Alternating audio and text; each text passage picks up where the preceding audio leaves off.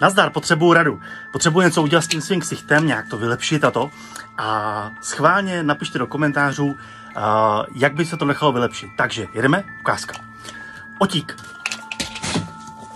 Post apo. To by šlo, ne? Pak, uh, jak to patří? Výsadkář. Bigoš.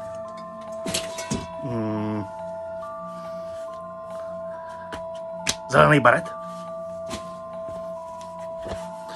Klasická kšiltovka. Kšiltovka ala Láďa Hruška. Divoký západ. Svůj širák odhazuj dál. Oh, sorry. 30. léta. Dobrý den. Ruku líbám. Nebo něco military. Mm, nebo úplně exo. A nejlepší asi bude tenhle ten model.